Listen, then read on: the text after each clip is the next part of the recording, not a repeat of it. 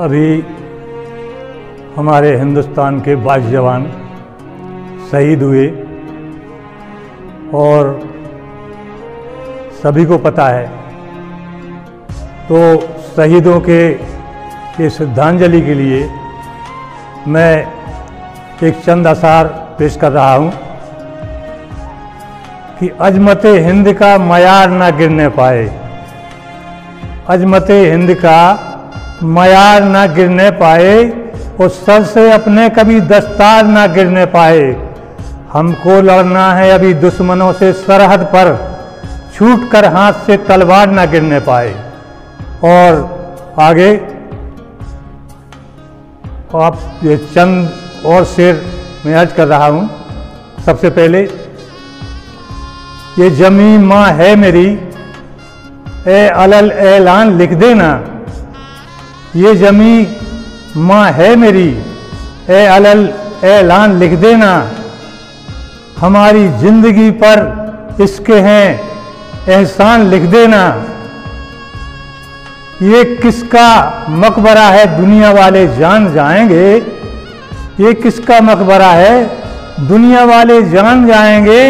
हमारी कब्र के पत्थर पे हिंदुस्तान लिख देना।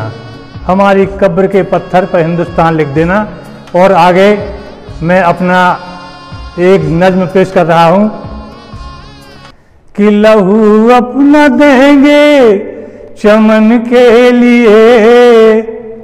लहू अपना देंगे चमन के लिए। मेरी जान जाए बतन के लिए।